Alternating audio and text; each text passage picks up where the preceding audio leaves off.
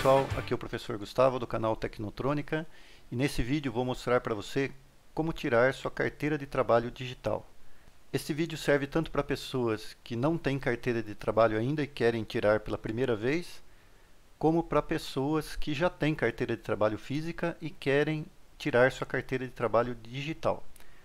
Então a primeira coisa que você tem que fazer é abrir seu navegador aqui e digitar obter carteira de trabalho digital.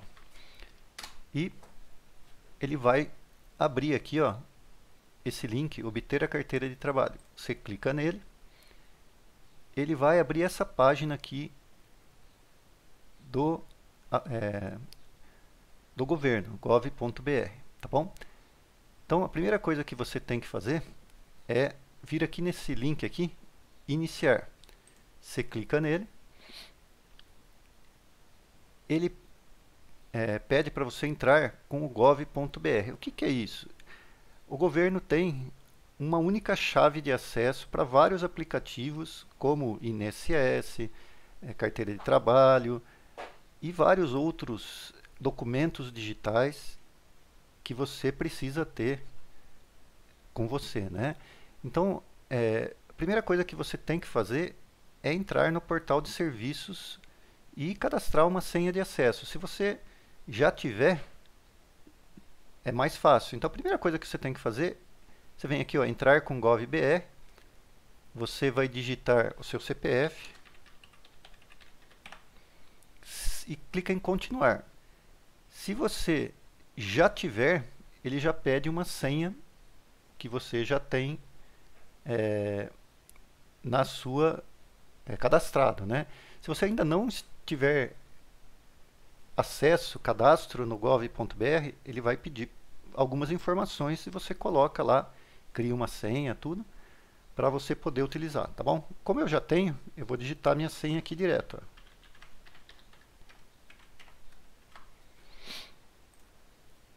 Aí ele entra aqui nessa telinha pedindo autorização dos dados pessoais para acessar a sua carteira de trabalho, né? Você clica aqui em autorizar.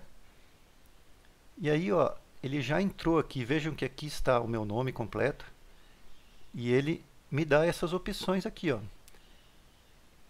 Mais esses outros aqui, ó. Então eu venho aqui, ó, carteira de trabalho digital. Ele vai abrir a tela. Tá vendo? Aqui ele me dá uma, uma informação primeiro, que se houver alguma inconsistência, não é necessário o comparecimento à unidade e assim por diante. Eu venho aqui em entendi. Então vejam, aqui estão meus dados. Ó. Eu vou deixar de forma que vocês não consigam ver, logicamente, para que as pessoas não tenham acesso aqui aos meus dados. Né? Aqui aparecem alguns contratos de trabalho. Ó. Esse aqui é o atual contrato de trabalho que eu tenho no, no, no Centro Estadual de Educação Tecnológica. E aqui são os contratos que já foram é, rescindidos em lugares que eu já trabalhei. Beleza? Então aqui mostra, na Unisep, por exemplo, ó, período do contrato, quando foi, né? Aqui no Centro Estadual, o período de trabalho que está, e todos os outros que eu já tive. Eu trabalhei aqui na Magnete Marelli, na Cadron, banco, no Bradesco, que foi o meu primeiro contrato. Se eu vier aqui e pedir para olhar, ó, ele vai detalhar informações sobre esse contrato de trabalho no Banco Bradesco, que foi meu primeiro emprego lá em 1987. Ó. Período de contrato de fevereiro a novembro de 87. Os dados sobre a empresa, né?